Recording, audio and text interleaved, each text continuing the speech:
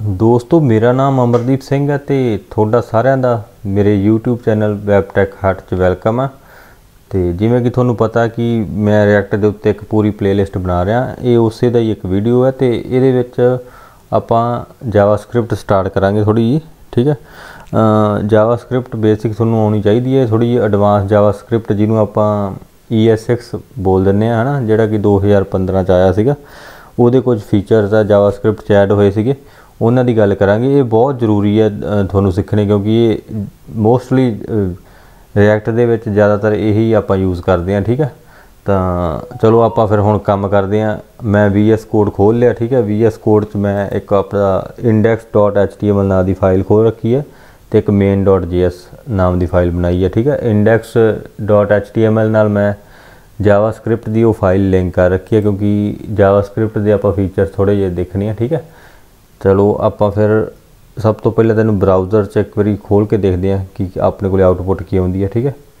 ਤਾਂ ਆ ਬਰਾਊਜ਼ਰ 'ਚ ਮੈਂ ਡਾਇਰੈਕਟ ਉਹ ਲਿੰਕ ਓਪਨ ਕਰ ਰੱਖਿਆ, ਠੀਕ ਹੈ? ES6 ਹੀ ਸਿਰਫ ਆਪਾਂ ਲਿਖਿਆ ਉਹ 'ਚ। ਤੇ ਜਾਵਾਸਕ੍ਰਿਪਟ ਦਾ ਹਜੇ ਤੱਕ ਆਪਾਂ ਕੋਈ ਕੋਡ ਨਹੀਂ ਕੀਤਾ, ਉਹ ਸਾਰਾ ਕੋਡ ਕਰਕੇ ਕੰਸੋਲ 'ਚ ਦੇਖਾਂਗੇ ਆਪਾਂ, ਠੀਕ ਹੈ? ਤਾਂ ਜਾਵਾਸਕ੍ਰਿਪਟ ਜਿਵੇਂ ਕਿ ਤੁਸੀਂ ਦੇਖ ਰਹੇ ਹੋ ਕਿ ਇਹ ਨਾ ਲਿੰਕ ਹੈ, ਤਾਂ main.js ਜਿਹੜੀ ਲਿੰਕ ਹੈ, ਇਹਨੂੰ ਆਪਾਂ ਓਪਨ ਕਰ ਲੈਂਦੇ ਆ ਤੇ ਹੁਣ ਤੁਹਾਨੂੰ ਮੈਂ ਦੱਸਦਾ ਵੀ ਆਪਾਂ ਨਾਰਮਲ ਜਦੋਂ ਜਾਵਾਸਕ੍ਰਿਪਟ 'ਚ ਵੇਰੀਏਬਲ ਬਣਾਉਣੇ ਆ ਤਾਂ ਨਾਰਮਲ ਆਪਾਂ ਲਿਖਦੇ ਹੁੰਦੇ ਸੀ var ਠੀਕ ਹੈ? Var ਇੱਥੇ ਜਿਵੇਂ ਮਾਈ ਨੇਮ ਆਪਾਂ ਉਹਦਾ ਨੇਮ ਲਿਖ ਲਿਆ, ਹੈਨਾ? ਮਾਈ ਨੇਮ ਇਹਦੇ ਅੱਗੇ ਆਪਾਂ ਇਹਦੀ ਵੈਲਿਊ ਦੇ ਦਿੰਦੇ ਆ ਹੈਨਾ? ਜਿਵੇਂ ਕਿ ਮੈਂ ਲਿਖ ਦਿੰਨਾ ਅਮਰਦੀਪ, ਠੀਕ ਹੈ? ਤੇ ਇਹਨੂੰ ਆਪਾਂ ਨਾਰਮਲ ਕੰਸੋਲ ਚ ਪ੍ਰਿੰਟ ਕਰਾ ਲੈਂਦੇ ਆ console.log ਦੋਸਤੋ, ਅਗਰ ਤੁਹਾਨੂੰ ਬੇਸਿਕ ਜਾਵਾਸਕ੍ਰਿਪਟ ਨਹੀਂ ਨਾ ਆਉਂਦੀ ਪਹਿਲਾਂ, ਇਹ ਜ਼ਰੂਰ ਬੇਸਿਕ ਸਿੱਖੋ, ਤਾਂ ਫਿਰ ਹੀ ਤੁਸੀਂ ਤੁਹਾਨੂੰ ਇਹ ਐਡਵਾਂਸ ਰਿਐਕਟ ਚ ਰਿਐਕਟ ਆਊਗੀ, ਠੀਕ ਹੈ? ਤਾਂ ਥੋੜੇ ਜਿਹਾ ਐਡਵਾਂਸ ਕਨਸੈਪਟ ਮੈਂ ਇਹ ਤਿੰਨ ਚਾਰ ਜਿਹੜੀਆਂ ਵੀਡੀਓ ਬਣਾਉਣ ਵਾਲਾ, ਜਿਹੜੀਆਂ ਰਿਐਕਟ ਜ਼ਿਆਦਾ ਜਿਹੜੀਆਂ ਚੀਜ਼ਾਂ ਯੂਜ਼ ਹੁੰਦੀਆਂ, ਉਹੋ ਹੀ ਸਮਝਾਉਂਗਾ ਠੀਕ ਹੈ? ਤਾਂ ਇੱਥੇ ਆਪਾਂ ਵੇਰੀਏਬਲ ਦਾ ਨਾਮ ਪਾਸ ਕਰ ਦਿੰਦੇ ਆ ਨਾਰਮਲੀ ਤੁਹਾਨੂੰ, ਤੁਸੀਂ ਸਾਰੇ ਜਾਣਦੇ ਹੋਵੋਗੇ, ਆਪਾਂ ਐਂ ਹੀ ਲਿਖਦੇ ਹੁੰਦੇ ਸੀਗੇ, ਠੀਕ ਹੈ? ਐਕਮਾ ਸਕ੍ਰਿਪਟ ਤੋਂ ਪਹਿਲਾਂ ਵੇਰੀਏਬਲ ਬਣਾ ਕੇ ਇਹਨੂੰ ਆਪਾਂ ਸੇਵ ਕਰ ਦਿੰਦੇ ਆ ਇਹਨੂੰ ਰੀਫਰੈਸ਼ ਕਰ ਲੈਂਦੇ ਆ ਪੇਜ ਨੂੰ ਤੇ ਇਨਸਪੈਕਟ ਚ ਕੰਸੋਲ ਚ ਇਹਨੂੰ ਓਪਨ ਕਰ ਲੈਂਦੇ ਆ ਠੀਕ ਹੈ? ਆ ਦੇਖੋ, ਇੱਥੇ ਕੰਸੋਲ ਚ ਅਮਰਦੀਪ ਨਾਮ ਆ ਗਿਆ ਨਾ। ਤੇ ਇਹ ਤੁਹਾਨੂੰ ਹੁਣ ਆਪਾਂ ਜਿਹੜੇ ਐਕਮਾ ਸਕ੍ਰਿਪਟ ਆਈ ਹੈ 2015 ਚ 2015 ਤੋਂ ਬਾਅਦ ਚ ਜਿਹੜੀ ਆਈ ਹੈ ਐਕਮਾ ਸਕ੍ਰਿਪਟ ਉਹ ਚ ਆਪਾਂ ਨੂੰ ਲੈਟ ਤੇ ਕਨਸਟ ਨਾਲ ਵੇਰੀਏਬਲ ਬਣਾਉਣਾ ਸਿਖਾਇਆ ਉਹਨਾਂ ਨੇ, ਹੈਨਾ? ਤੇ ਇਹਦੇ ਚ ਤੇ ਵੈਰ ਚ ਡਿਫਰੈਂਸ ਜਿਹੜੇ ਹੈਗੇ ਆ ਲੈਟ ਤੇ ਕਨਸਟ ਚ ਕੀ ਤੇ ਵੈਰ ਚ ਕੀ ਕੀ ਡਿਫਰੈਂਸ ਹੈ ਉਹ ਵੀ ਮੈਂ ਤੁਹਾਨੂੰ ਇਹ ਸਮਝਾਉਂਗਾ, ਠੀਕ ਹੈ ਉਹ ਚ ਨਾਰਮਲੀ ਜਿਵੇਂ ਉੱਪਰ ਆਪਾਂ ਇਹ ਚ ਵੈਰ ਚ ਮਾਈ ਨੇਮ ਲਿਖਤਾ, ਹਨਾ? ਇਹ ਚ ਆਪਾਂ ਲਿਖ ਦਿੰਨੇ ਲੈਟ ਠੀਕ ਹੈ ਇੱਥੇ ਆਪਾਂ ਲਿਖ ਦਿੰਨੇ ਮਾਈ ਨੇਮ ਇਹਨੂੰ ਆਪਾਂ ਨਾਮ ਦੇ ਦਿੰਨੇ 2 ਠੀਕ ਹੈ ਇੱਥੇ ਆਪਾਂ ਲਿਖ ਦਿੰਨੇ ਬਈ ਦੀਪ, ਤੇ ਇਹਨੂੰ ਵੀ ਆਪਾਂ ਕੰਸੋਲ ਚ ਪ੍ਰਿੰਟ ਕਰਾ ਦਿੰਦੇ ਆ ਠੀਕ ਹੈ? console.log ਚ। ਇਹਦਾ ਹੈਗਾ ਮਾਈ ਨੇਮ ਮਾਈ ਨੇਮ 2 ਠੀਕ ਹੈ? ਆਪਾਂ ਬਰਾਊਜ਼ਰ ਚੈੱਕ ਕਰਦੇ ਆ ਜਾ ਕੇ। ਆਊਟਪੁੱਟ ਰੀਫਰੈਸ਼ ਕਰਦੇ ਆ ਆ ਦੇਖੋ ਦੀਪ ਵੀ ਆ ਗਿਆ, ਠੀਕ ਹੈ? ਹੁਣ ਤੁਸੀਂ ਕਹੋਗੇ ਵੀ ਇਹ ਚ ਤਾਂ ਕੋਈ ਡਿਫਰੈਂਸ ਨਹੀਂ ਲੈਟ ਤੇ ਵੈਰ ਹੈ ਨਾ ਵੀ ਉਵੇਂ ਆਪਾਂ ਸੇਮ ਹੀ ਆਊਟਪੁੱਟ ਆ ਰਹੀ ਹੈ ਨਾ ਸਿਰਫ ਲੈਟ ਤੇ ਵੈਰ ਹੀ ਲਿਖਿਆ ਗਿਆ ਦੋਸਤੋ ਇਹ ਚ ਨਿੱਕੀਆਂ ਨਿੱਕੀਆਂ ਚੀਜ਼ਾਂ ਦਾ ਫ਼ਰਕ ਹੈਗਾ ਇਹ ਮੈਂ ਤੁਹਾਨੂੰ ਜਿਵੇਂ ਤੁਸੀਂ ਵੀਡੀਓ ਐਂਡ ਤੱਕ ਦੇਖਿਓ ਜੋ, ਸਾਰਾ ਡਿਫਰੈਂਸ ਸਮਝਾ ਦੂੰਗਾ। ਜਿਵੇਂ ਇਹਦੇ ਵਾਂਗੂ ਹੀ ਇੱਕ ਹੈਗਾ ਕਨਸਟ ਕਨਸਟ ਲਿਖ ਕੇ ਵੀ ਆਪਾਂ ਵੇਰੀਏਬਲ ਲੈ ਸਕਦੇ ਹਾਂ ਨਾ ਕਨਸਟ ਇੱਥੇ ਲਿਖ ਦਿੰਨੇ ਆਪਾਂ ਮਾਈ ਨੇਮ ਮਾਈ ਨੇਮ 3 ਠੀਕ ਹੈ? ਇਹਨੂੰ ਆਪਾਂ ਦੇ ਦਿੰਨੇ ਆ ਬਰਾਡ ਠੀਕ ਹੈ? ਤੇ ਇਹਨੂੰ ਵੀ ਉਵੇਂ ਆਪਾਂ ਕੰਸੋਲ 'ਚ ਪ੍ਰਿੰਟ ਕਰਾ ਲੈਂਦੇ ਆ ਠੀਕ ਹੈ? ਇਹਨੂੰ ਕਾਪੀ ਕਰਦੇ ਆ ਬਈ। ਤੇ ਇਹਨੂੰ ਪੇਸਟ ਕਰਦੇ ਆ ਇੱਥੇ ਮਾਈ ਨੇਮ 3 ਕਰ ਦਿੰਦੇ ਆ ਇਹ ਵੀ ਉਵੇਂ ਹੀ ਜਿਵੇਂ ਆਪਾਂ ਨਾਰਮਲ ਵੇਰੀ ਵੈਰ ਲਿਖਿਆ ਸੀਗਾ, ਉਵੇਂ ਆਊਟਪੁੱਟ ਦੇਊਗਾ। ਆ ਦੇਖੋ, ਇਹਨੇ ਦੇਤੀ, ਠੀਕ ਹੈ? ਹੁਣ ਤੁਸੀਂ ਕਹੋਗੇ ਵੀ ਇਹ ਚ ਕੋਈ ਡਿਫਰੈਂਸ ਸਾਨੂੰ ਲੱਗਦਾ ਤਾਂ ਹੈ ਨਹੀਂ ਬਟ ਮੈਂ ਤੁਹਾਨੂੰ ਸਮਝਾਉਣਾ। ਜਿਵੇਂ ਕਿ ਆ ਵੈਰ ਹੈ, ਹਨਾ? ਵੈਰ ਚ ਮਾਈ ਨੇਮ ਹੈ। ਮਾਈ ਨੇਮ ਦੀ ਕੀ ਆਪਾਂ ਚੇਂਜ ਕਰ ਸਕਦੇ ਹਾਂ, ਜਿਵੇਂ ਕਿ ਮਾਈ ਨੇਮ ਇਕੁਅਲ ਟੂ ਇੱਥੇ ਆਪਾਂ ਲਿਖ ਦਿੰਨੇ ਆ ਸਿੰਘ। ਠੀਕ ਹੈ? ਹੁਣ ਤੁਸੀਂ ਦੇਖੋ ਜੋ ਅਗਰ ਆਪਾਂ ਕੰਸੋਲ ਕਰਾਉਣੇ ਆ ਤਾਂ ਕੀ ਆਉਟਪੁੱਟ ਆਉਂਦੀ ਹੈ?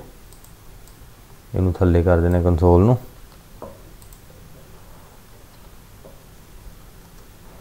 ਠੀਕ ਹੈ? ਆ ਉੱਪਰ ਵਾਲਾ ਕੰਸੋਲ ਦੇਖਣਾ ਮਾਈ ਨੇਮ ਵਾਲਾ ਆਪਾਂ। ਠੀਕ ਹੈ? ਇਹਨੂੰ ਰੀਫਰੈਸ਼ ਕਰਦੇ ਆ ਆ ਵੇਖੋ ਸਿੰਘ ਆ ਗਿਆ। ਠੀਕ ਹੈ? ਉਹਦੀ ਵੈਲਿਊ ਚੇਂਜ ਹੋ ਗਈ। ਠੀਕ ਹੈ? ਵੈਲਿਊ ਆਪਾਂ ਚੇਂਜ ਕਰਤੀ ਤੇ ਲੈਟ 'ਚ ਵੀ ਐਵੇਂ ਹੋਊਗਾ। ਲੈਟ 'ਚ ਵੀ ਵੈਲਿਊ ਚੇਂਜ ਹੋ ਜਾਊਗੀ। ਠੀਕ ਹੈ? ਆਪਾਂ ਲਿਖ ਦਿੰਨੇ ਆ ਮਾਈ ਨੇਮ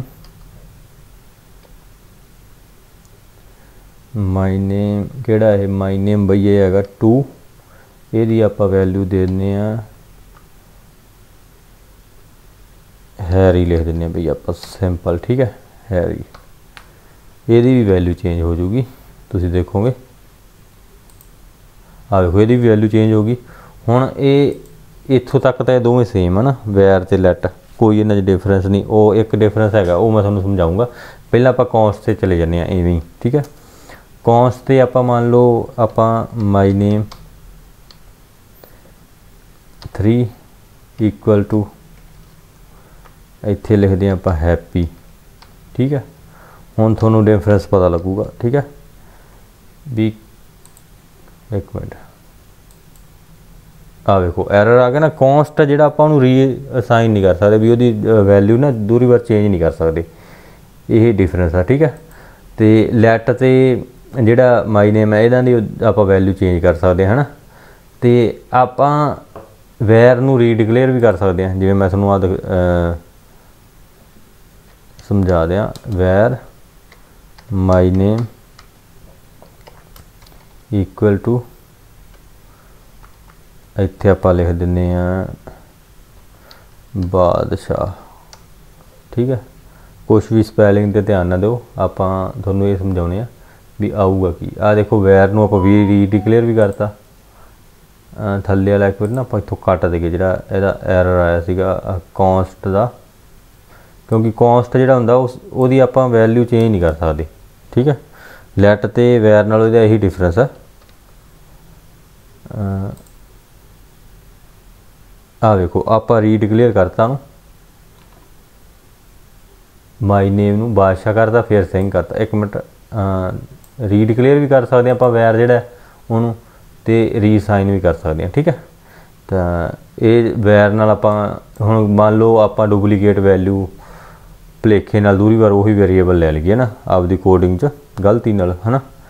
ਤਾਂ ਆਪਾਂ ਨੂੰ ਤਾਂ ਨਹੀਂ ਪਤਾ ਲੱਗਣਾ, ਉਹ ਆਪਣੀ ਗਲਤੀ ਉਵੇਂ ਹੀ ਚੱਲੀ ਜਾਊਗਾ, ਹੈਨਾ?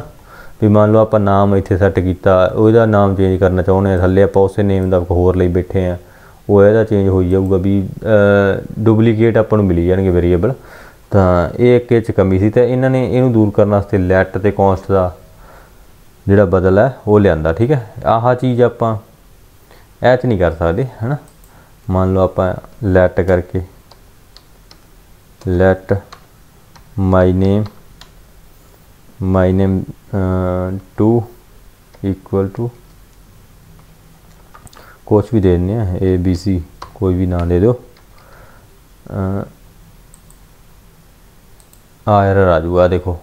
ਇਹਨੂੰ ਆਪਾਂ ਰੀਡੈਕਲੇਰੇਸ਼ਨ ਆ ਗਿਆ ਨਾ ਸਿੰਟੈਕਸ ਐਰਰ ਆ ਗਿਆ।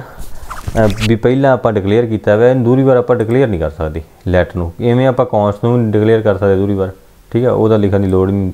ਆਲਰੇਡੀ ਆਪਾਂ ਨੂੰ ਪਤਾ ਕੌਂਸ ਨੂੰ ਆਪਾਂ ਰੀਡ ਵੀ ਨਹੀਂ ਕਰ ਸਕਦੇ ਤੇ ਰੀਸਾਈਨ ਵੀ ਨਹੀਂ ਕਰ ਸਕਦੇ, ਠੀਕ ਹੈ? ਤਾਂ ਇਹ ਇੱਕ ਡਿਫਰੈਂਸ ਸੀਗਾ ਵੀ ਡੁਪਲੀਕੇਸੀ ਵਗੈਰਾ, ਹਨਾ, ਜ਼ਿਆਦਾ ਵੇਰੀਏਬਲ ਦਾ ਪਤਾ ਲੱਗ ਜਾਂਦਾ ਆਪਾਂ ਨੂੰ, ਜੇ ਕੋਈ ਡੁਪਲੀਕੇਟ ਵੇਰੀਏਬਲ ਬਣ ਵੀ ਜਾਂਦਾ ਤਾਂ, ਹਨਾ? ਤੇ ਆਪਾਂ ਇਹਨੂੰ ਲੈਟ ਨੂੰ ਤੇ ਵੈਰ ਨੂੰ ਰੀਸਾਈਨ ਤਾਂ ਕਰ ਸਕਦੇ ਪਰ ਰੀਡ ਨਹੀਂ ਕਰ ਸਕਦੇ। ਤਾਂ ਇਹੀ ਫ਼ਰਕ ਹੈ। ਆ ਸਿੱਧੇ ਸ਼ਬਦਾਂ 'ਚ ਯਾਰ ਵੀ ਯੂਨੀਕ ਜਿਹਾ ਬਣ ਜਾਂਦਾ ਲੈਟ ਤੇ ਕਨਸਟ ਹਨਾ? ਤਾਂ ਹੀ ਇਹਨਾਂ ਨੇ ਇਹਦਾ ਬਦਲ ਲਿਆਂਦਾ। ਅਕਸਰ ਕੋਈ ਫ਼ਰਕ ਉਹ ਚ ਕਮੀਆਂ ਹੋਣਗੀਆਂ ਤਾਂ ਬਈ ਤਾਂ ਹੀ ਇਹਨੂੰ ਲਿਆਂਦਾ ਹੈ ਨਾ ਲੈਟ ਤੇ ਕੌਂਸ ਨੂੰ, ਠੀਕ ਹੈ?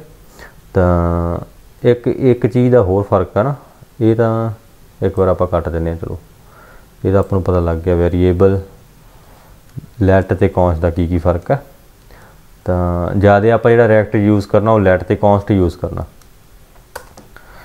ਇੱਕ ਆਪਾਂ ਬਲੌਕ ਫੰਕਸ਼ਨ ਬਣਾ ਲੈਂਦੇ ਹਾਂ ਹੁਣ ਇੱਕ। ਸਿੰਪਲ ਜਿਹਾ function function hello function hello ਲਿਖ ਕੇ ਆਪਾਂ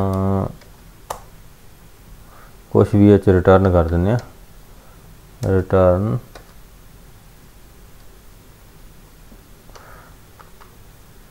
ਹਾਈ ਠੀਕ ਹੈ ਇਹਨੂੰ ਆਪਾਂ ਥੱਲੇ ਕਾਲ ਵੀ ਕਰ ਲੈਂਦੇ ਆ ਹੈਲੋ ਠੀਕ ਹੈ ਤੇ ਆਪਾਂ ਰਿਟਰਨ console.log ਕਰਦੇ ਹਾਂ। ਹਾਏ, console ਡਾਟ ਲੌਗ ਇੱਥੇ ਆਪਾਂ ਲਿਖ ਦਿੰਨੇ ਆ ਹਾਏ, ਠੀਕ ਹੈ। ਇੱਕ ਨਾਰਮਲ ਫੰਕਸ਼ਨ ਚੱਲੂਗਾ ਇਹ ਆ ਵੇਖੋ ਕੰਸੋਲ ਚ ਹਾਈ ਰਿਟਰਨ ਹੋ ਕੇ ਆ ਗਿਆ, ਠੀਕ ਹੈ। ਹੁਣ ਜਿਹੜਾ ਆਪਾਂ ਉਹਨੂੰ ਕਹਿ ਦਿੰਨੇ ਆ ਵੈਰ ਹੈ ਹੈਨਾ ਉਹ ਫੰਕਸ਼ਨ ਦੇ ਅੰਦਰ ਅੰਦਰ ਸਾਰੇ ਜਿਵੇਂ ਕੰਮ ਕਰਦਾ ਆਪਾਂ ਕਹਿ ਸਕਦੇ ਆ ਤੁਹਾਨੂੰ ਐ ਸਮਝ ਨਹੀਂ ਆਉਣੀ। ਇੱਕ ਆਪਾਂ ਹੋਰ ਕੰਡੀਸ਼ਨ ਲਾਉਂਦੇ ਆ ਚ ਇਫ ਇਫ ਤੁਹਾਨੂੰ ਆ ਪ੍ਰੈਕਟੀਕਲੀ ਸਿਖਾਉਂਗਾ ਜ਼ਿਆਦਾ, ਮੇਰੇ ਤੋਂ ਨਾ ਬੋਲ ਕੇ ਯਾਰ ਦੱਸਿਆ ਨਹੀਂ ਜਾਂਦਾ, ਮੈਂ ਤਾਂ ਚੀਜ਼ਾਂ ਕਰਕੇ ਵਿਖਾਉਣਾ ਤੇ ਬਈ ਐ ਚੀਜ਼ਾਂ ਪ੍ਰੈਕਟੀਕਲੀ ਪਤਾ ਲੱਗਦੀਆਂ, ਉਵੇਂ ਥਿਉਰੀ ਦਾ ਮੱਥਾ ਮਾਰਨ ਦਾ ਕੋਈ ਫਾਇਦਾ ਨਹੀਂ, ਠੀਕ ਹੈ? ਤਾਂ ਅਗਰ ਤੁਸੀਂ ਥਿਉਰੀ ਥਿਉਰੀ ਦੀ ਲੋੜ ਹੈ ਤਾਂ ਉਹ ਵੀ ਤੁਸੀਂ ਪੜ੍ਹ ਸਕਦੇ ਹੋ, ਠੀਕ ਹੈ? ਤਾਂ ਬਟ ਪ੍ਰੈਕਟੀਕਲੀ ਜਿਹੜੀਆਂ ਚੀਜ਼ਾਂ ਆਪਾਂ ਕਰਾਂਗੇ ਉਹ ਜ਼ਿਆਦਾ ਬੈਨੀਫਿਟ ਹੈ ਉਹਨਾਂ ਨੂੰ ਆਪਣਾ, ਉਹਨਾਂ ਚੀਜ਼ਾਂ ਨੂੰ। ਠੀਕ ਹੈ? ਇਫ ਟਰੂ ਇੱਥੇ ਆਪਾਂ ਰਿਟਰਨ ਕਰ ਦਿੰਦੇ ਹਾਂ ਕੰਸੋਲ ਕੰਸੋਲ ਨਹੀਂ ਆਪਾਂ ਕਰਦੇ ਹਨਾ ਆਪਾਂ ਇਹ ਚ ਕਰਦੇ ਹਾਂ, ਉੱਤੇ ਫੰਕਸ਼ਨ ਦੇ ਆਪਾਂ ਵਿੱਚ ਇੱਕ ਲੈ ਲੈਨੇ ਆ ਵੇਰੀਏਬਲ ਠੀਕ ਹੈ? ਤੇ ਆਪਾਂ ਲੈ ਲੈਨੇ ਆ var var my name equal to ਇੱਥੇ ਫੇਰ ਆਪਾਂ ਲਿਖ ਦਿੰਨੇ ਆ ਅਮਰਦੀਪ। ਅਮਰ ਹੀ ਲਿਖ ਦਿੰਨੇ ਆਪਾਂ ਬੜਾ ਲੰਬਾ ਕੀ ਲਿਖਣਾ ਯਾਰ। ਵੈਸੇ ਮੇਰੀ ਸਪੀਡ ਥੋੜੀ ਸੋ ਸਲੋ ਹੈ, ਠੀਕ ਹੈ। ਤਾਂ ਆਪਾਂ ਇਹਨੂੰ ਇੱਥੇ ਲਿਖ ਲਿਆ। ਹੁਣ ਇੱਥੇ ਆਪਾਂ ਕੰਸੋਲ ਡਾਟ ਲੌਗ ਕਰਾਵਾਂਗੇ। ਮਾਈ ਨੇਮ ਠੀਕ ਹੈ, ਇਹਦਾ ਨਾਰਮਲ ਹੀ ਨੇ ਇਹ console.log ਪ੍ਰਿੰਟ ਕਰਾ ਦੇਣਾ। ਠੀਕ ਹੈ। ਤਾਂ ਆਪਾਂ ਇਹਨੂੰ ਆਊਟਪੁੱਟ ਚੈੱਕ ਵੀ ਦੇਖ ਲੈਂਦੇ ਹਾਂ ਕੰਸੋਲ 'ਚ। ਆ ਦੇਖੋ ਵੀ ਨਾਮ ਆ ਗਿਆ। ਹੁਣ ਮੰਨ ਲਓ ਇਹ ਮਾਈ ਨੇਮ ਨੂੰ ਆਪਾਂ ਇੱਥੋਂ ਕਾਪੀ ਕਰਕੇ ਇੱਥੇ ਥੱਲੇ ਵੀ ਪ੍ਰਿੰਟ ਕਰਾ ਸਕਦੇ ਹਾਂ ਨਾ। ਹੈਨਾ? ਇਹ ਆ ਦੇਖੋ ਆ ਥੱਲੇ ਵੀ ਆ ਗਿਆ। ਇਹ ਫੰਕਸ਼ਨਲ ਸਕੋਪ ਹੈ ਇਹਦਾ ਕਹਿਣ, ਮੇਰੇ ਕਹਿਣ ਦਾ ਮਤਲਬ ਵੀ ਜਿਹੜਾ ਵੇਰੀਏਬਲ ਹੈ ਨਾ, ਪੂਰੇ ਫੰਕਸ਼ਨ 'ਚ ਕਿੱਥੇ ਵੀ ਹੈ ਆਪਾਂ ਪ੍ਰਿੰਟ ਕਰੀ ਜਾਵਾਂਗੇ ਹੋ ਹੀ ਜਾਊਗਾ। ਠੀਕ ਹੈ ਇਹ ਫੰਕਸ਼ਨਲ ਸਕੋਪ ਹੈ ਇੱਕ। ਇਹ ਜਿਹੜਾ ਵੇਰੀਏਬਲ ਹੁੰਦਾ ਨਾ, ਇਹ ਫੰਕਸ਼ਨਲ ਸਕੋਪ ਹੁੰਦਾ ਇਹਦਾ। ਠੀਕ ਹੈ ਤੇ ਜਿਹੜਾ ਲੈਟ ਦੇ ਕਨਸਟ ਹੁੰਦੇ ਉਹ ਬਲੌਕ ਸਪੋਰਟ ਸਕੋਪ ਹੁੰਦਾ ਉਹਨਾਂ ਦਾ। ਠੀਕ ਹੈ ਬਲੌਕ ਸਕੋਪ ਮਤਲਬ ਵੀ ਆਹ ਮੰਨ ਲਓ ਆਪਾਂ ਉੱਤੇ ਲੈਟ ਲੈ ਲਿਆ। ਹੈਨਾ? ਇੱਥੇ ਆਪਾਂ ਲੈਟ ਲੈਣੇ ਇਹਨੂੰ ਲੈਟ ਕਰ ਦਿੰਨੇ ਆ ਠੀਕ ਹੈ? ਤੇ ਇੱਥੇ ਆਪਾਂ ਲੈ ਲੈਨੇ ਆ ਫਿਰ ਲੈਟ ਠੀਕ ਹੈ? ਮੰਨ ਲਓ। ਲੈਟ ਇੱਥੇ ਆਪਾਂ ਲੈਨੇ ਮਾਈ ਨੇਮ